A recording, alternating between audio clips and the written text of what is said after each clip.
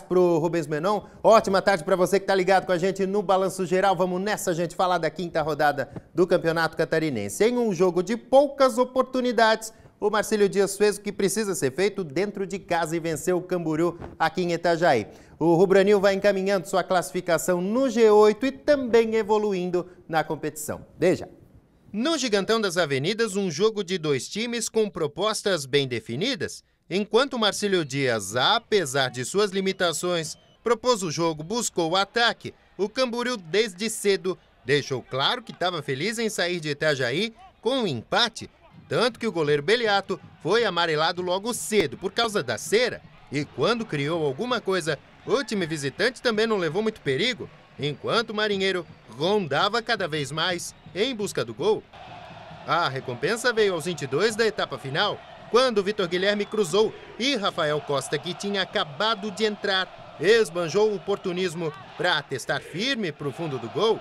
A cera não fez diferença e o Marinheiro chegou lá 1 a 0. Vitória importantíssima que deixa a gente cada vez mais forte. Vencemos fora de casa o Criciúma, agora a primeira vitória em casa deixa a gente com mais confiança no campeonato. Agora outro jogo dificílimo fora de casa, mas temos condições totais de fazer um bom jogo e quem sabe conquistar pontos fora de casa também para que a gente possa estar cada vez mais vivo na competição. Depois de vencer a primeira em casa e a segunda consecutiva no estadual, o Marcílio Dias volta a campo quarta-feira contra o Figueira em Floripa. Nós conseguimos mudar o jeito de jogar, trabalhar bastante, né? E acho que a vitória hoje valoriza todo o trabalho, né? Mais um, uma quebra de tabu, é, o grupo unido fechado, né, um jogo, um clássico, né, se decide em detalhes.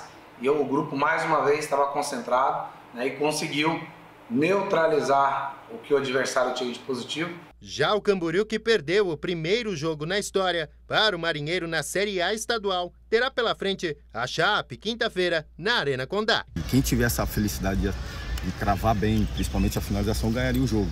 Eles tiveram, fizeram, nós tivemos, não fizemos. Então, eu acredito que foi isso que aconteceu.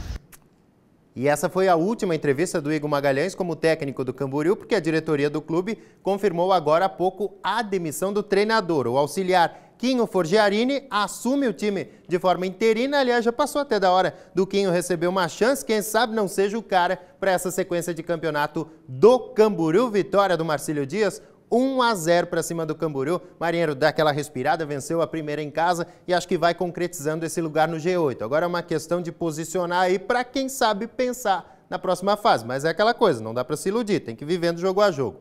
A nota lamentável dessa partida de ontem, gente, foi a confusão registrada no intervalo. Um torcedor do Camboriú teria provocado a organizada do Marinheiro, que reagiu e teria tentado partido aí para tentar invadir o espaço visitante, já que a Polícia Militar não fazia, nesse momento, o tradicional cordão de isolamento. Então, o que aconteceu? Né? Esse cordão de isolamento entre as torcidas. A Polícia Militar acabou dando tiros de bala de borracha para parar com essa confusão. Resumo da história: uma criança de 9 anos foi atingida por um disparo. Apesar do susto, tá tudo bem com o menino eu conversei com o pai dele, agora pela manhã, me confirmou toda a história e disse que, inclusive, a polícia foi muito solícita com o garoto, com a família, no momento da confusão. A Polícia Militar de Itajaí confirmou para a nossa produção que vai divulgar mais informações sobre esse caso no começo da tarde de hoje. Uma situação extremamente desnecessária e que, além dessa criança atingida, ainda pode causar punições ao clube mandante. Tem que pensar duas, três, quatro, dezenove vezes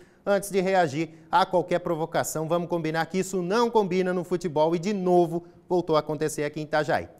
Mais gols da rodada do Campeonato Catarinense. O Brusque empatou em casa, perdeu a liderança, enquanto o Havaí, hein, atropelou o rival Figueirense. O jogo foi na ressacada. Veja. Da linguiça no estádio Domingos Machado de Lima, no sábado à tarde. A Chapecoense começou melhor e abriu o placar com Felipe Albuquerque ampliando na sequência com esse chute rasteiro de Maxwell. Mas na volta do intervalo, Concórdia foi para cima e descontou com Cezinha, de primeira. Inspirado, ele ainda marcou esse golaço a longa distância para deixar tudo igual. Fim de papo, Concórdia 2, Chapecoense também 2. Na ressacada clássico de Floripa, entre Havaí e Figueirense, com 13 mil torcedores nas arquibancadas. O Leão da Ilha atropelou o grande rival, primeiro com o Ellison, que tentou cortar e mandou contra 1 a 0 Havaí. Andrei fez o segundo do Leão da Ilha. O artilheiro Vagninho, o terceiro.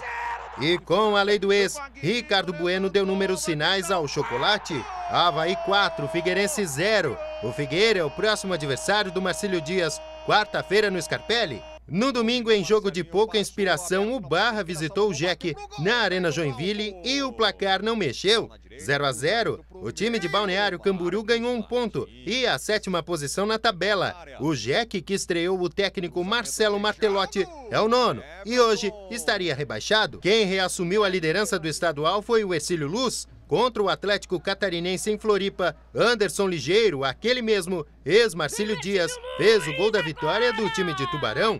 Atlético Catarinense 0, Ercílio Luz 1. Já o Brusque perdeu a liderança graças ao empate em casa. Rômulo, logo no começo de jogo, colocou Criciúma em vantagem no placar, mas Cléo Silva deixou tudo igual. E foi só Brusque 1, Criciúma também 1. É um grande adversário, né? total respeito ao Criciúma, não tem como falar algo diferente mas nós estamos comemorando, assim, eu falei, acabei de falar no vestiário, nós não vamos ganhar todos os jogos, mas nós temos que lutar em todos os jogos. Essa equipe, ela lutou novamente, não é uma equipe muito briosa. Mas não estamos satisfeitos só com um ponto, porque eu acho que nós jogamos para vencer a partida, apesar de que agora, no último minuto, eles tiveram uma oportunidade ali, mas eu acho que no volume total da partida, se futebol fosse um esporte de merecimento, nós merecíamos vencer. Tá, então o Brusque contra o Criciúma realmente é o adversário que é um dos favoritos, né? A conquista do título do Campeonato Catarinense, embora ainda não tenha jogado aquela bola toda, né? E segundo a imprensa de Criciúma, infelizmente esse jogo também teve confusão. O assessor de imprensa do Criciúma teria sido atingido por um copo de cerveja e outro de urina, gente, vindo aí da torcida da casa. O equipamento do clube também foi atingido e agora o Criciúma está analisando as medidas jurídicas para tomar sobre esse caso. Vê se pode isso, hein? Ai, ai, complicado futebol de Santa Catarina. Já, já tem mais futebol? Antes a The Ocean Race, porque os suíços do Ousim PRB assumiram, assumiram a liderança da etapa durante o final de semana lá no Oceano Atlântico. Além da escolha pela rota correta, eles aproveitaram os problemas, tá aí, ó, do Team Europa. O então líder, além de uma escolha ruim nas rotas, teve um problema de ruptura em uma das suas velas. Mas, apesar da liderança, do sim os alemães do Team Malísia e também os americanos do Eleven Hour vem com um ritmo muito forte e o trecho final até a cidade do Cabo, na África do Sul, deve ser de muitas mudanças, de muita disputa pela liderança da regata, que deve chegar em terra firme na próxima quinta-feira. A gente está vendo as imagens aí do pessoal do Team Europa, foi realmente muito triste porque eles vinham em um ritmo muito forte, vinham mantendo até uma certa liderança desde a largada para ter esse problema e o pessoal que vinha atrás aproveitou e deixou o Team Europa para trás nesse momento na disputa da segunda etapa, da segunda perna da The Ocean Race até a cidade do Cabo.